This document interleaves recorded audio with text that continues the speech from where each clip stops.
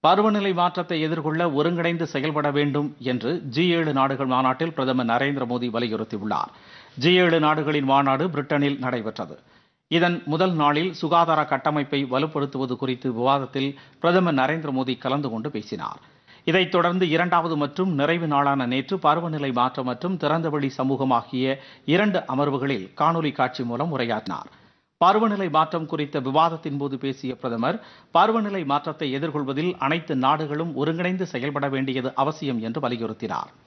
நாடுகள் தனித்தனியாக இருக்கும்போது இந்த சவாலை எதிர்கொள்ள முடியாது என்று அவர் குறிப்பிட்டார்.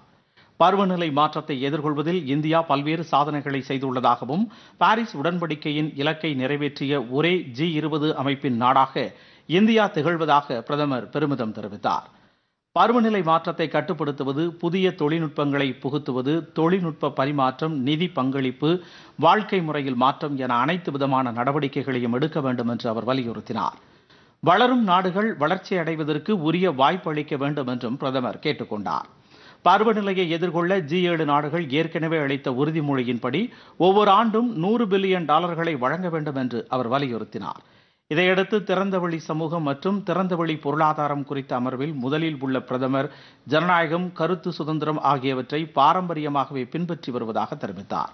சர்வாதிகாரம் தீவிரவாதம் தவறான தகவல்களை பரப்புவது ஆகியவற்றை எதிர்கொள்ள ஜி ஏழு நாடுகள் தங்களுடன் கருத்துக்களை பரிமாறிக்கொள்ள வேண்டும் என்று பிரதமர் நரேந்திர மோடி வலியுறுத்தினார்.